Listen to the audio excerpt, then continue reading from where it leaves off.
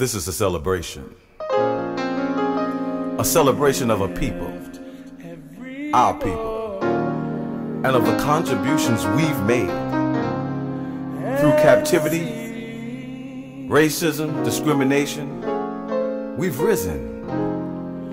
And though those elements are still prevalent today, we still rise.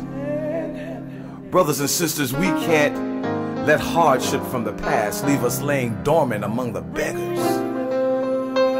We come from royalty. Kings, queens, that's right. Educators, scientists, inventors pioneering and engineering products that our society couldn't live without today. From the railroad to the traffic light. Our culture is rich. So tell the story to our children. There is more to black people than how well we sing, dance, and play basketball. Tell them they're African American and teach them the contributions we've made so we can celebrate. Through our tears, we celebrate. Through our battle, we celebrate. By any means necessary, oh, we celebrate.